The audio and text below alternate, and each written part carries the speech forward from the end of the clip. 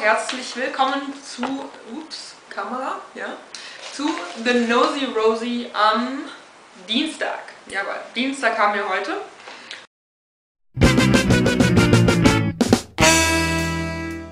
Und heute ist zusätzlich noch themenfrei, also habe ich mir ein Thema frei gewählt. Naja.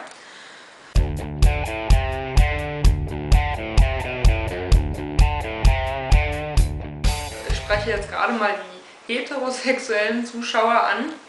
Und zwar, da kann man sich manchmal doch fragen, ja, mein Gott, wie machen die denn da so ein großes Trara drum und so, die sollen sich doch outen, das ist mir doch egal. Und äh, ja, heute sind wir doch alle so modern und offen.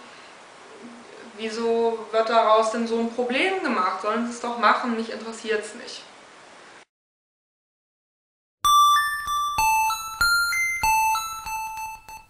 Ich denke mal, die haben sich noch nie wirklich auch mit dem Thema beschäftigt, was ja auch verständlich ist, weil äh, viele mit diesem Thema einfach auch gar nicht in, in Berührung groß kommen.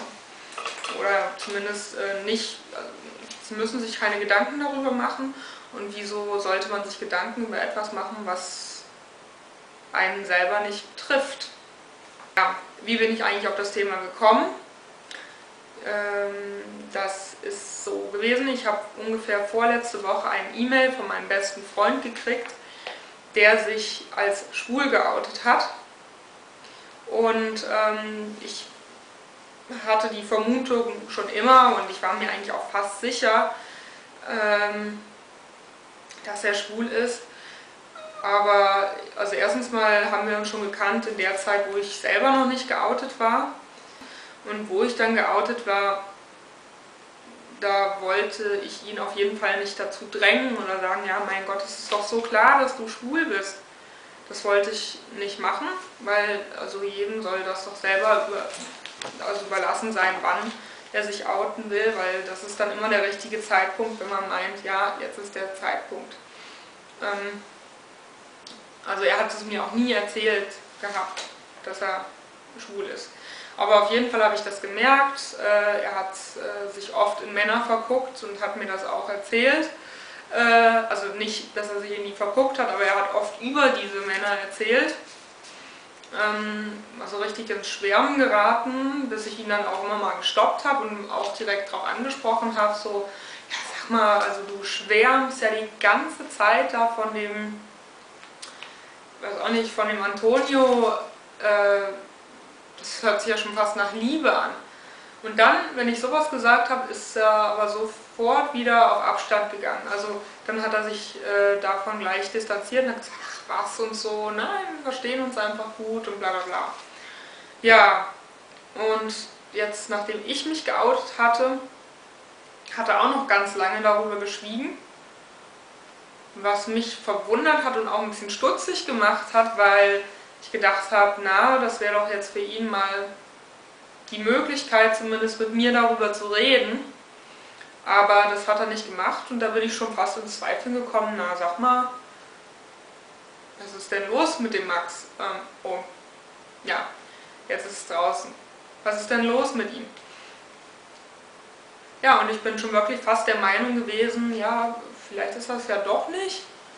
Aber er hat, er hat einfach so viele Sachen, die darauf schließen lassen, dass er eben schwul ist. Sei es jetzt, er ist sehr modeinteressiert, experiment, experimentierfreudig mit Mode, er interessiert sich für Klatsch und Tratsch, ähm, er kann sich sehr für Details begeistern, ähm, er sieht sofort, wenn man Fussel irgendwo hat oder ähm, wenn irgendwas nicht ganz korrekt ist. Er hat ein sehr ästhetisches, ähm, also sehr ästhetische Wahrnehmung und er lädt lieber zum Kaffee und Kuchen ein als zum Bierabend. Ja, einfach, das sind alles so Kleinigkeiten und das muss auch nicht unbedingt darauf schließen, dass jemand schwul ist, aber es war einfach sehr, ähm, dass einem das aufgefallen ist und auch andere Freunde von mir die ihn jetzt gesehen haben, haben, mir, haben mich nach fünf Minuten gefragt oder haben mich halt immer danach gefragt, sag mal, der Max ist schwul, ne? Und ja, also das war irgendwie so ersichtlich gewesen für alle. Ja, auf jeden Fall hat er mir in seiner E-Mail geschrieben, ähm, dass es ihm sehr schwer fällt, das zu schreiben. Und äh, er hätte immer gehofft, äh, die letzten paar Jahre, dass, dass dann doch noch was Vernünftiges vorbeikommt. Und bei vernünftig hat er dann in Klammern geschrieben, ähm, eine Frau.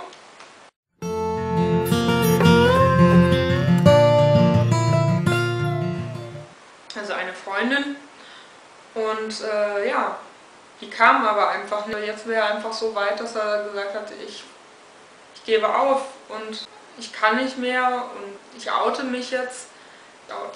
Er hat mir geschrieben, dass er so gerne einfach so ein 0815-Mann wäre, der mit einer Freundin, der eine Freundin an seiner Hand hat und mit der ein ganz normales Leben führt und äh, nicht diese ganzen Probleme hat, mit, dass er blöd angemacht wird, dass er seinen Eltern erklären muss, oh, hey, pass mal auf, ich bin, ich bin vielleicht doch nicht so der Sohn, den ihr euch immer so gewünscht habt. Und ähm, ja, und dann seine Freunde, da hat er Angst, nicht mehr akzeptiert zu werden, weil die machen ja auch oft einfach so Witze, ja, Gott, guck dir mal die Schwuchtel da an und du bist schwul, ist ja widerlich oder so.